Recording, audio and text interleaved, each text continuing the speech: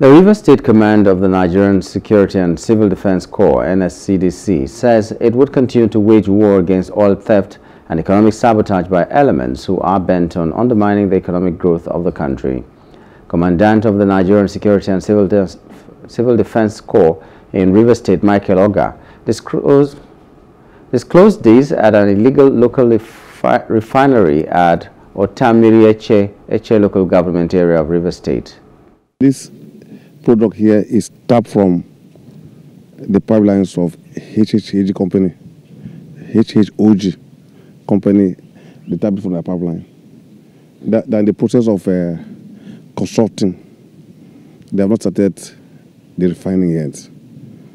So based on based on credible information uh, by the company, the company briefed us on what is going on. So we came to safeguard the place and also we are going to destroy the this illegal refinery.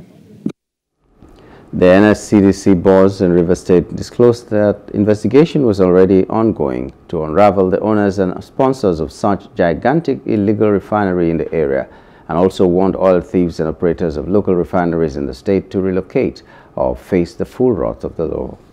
We were not able to arrest anybody, but we are still investigating to know the owner of this parcel of land who may have allowed them to do this kind of business. But we know that those who are doing this business, they are not the owner of this land. So we are going to trace the owner of the land so I'll be able to, to locate the owner of the business. You can see they have about three boreholes. You know how much it costs to, to, to sink one borehole, and there are three here with all these containers where they're storing the product, we know that this is a big business. Because this one, we're going to stop them. We are not going to allow them to operate.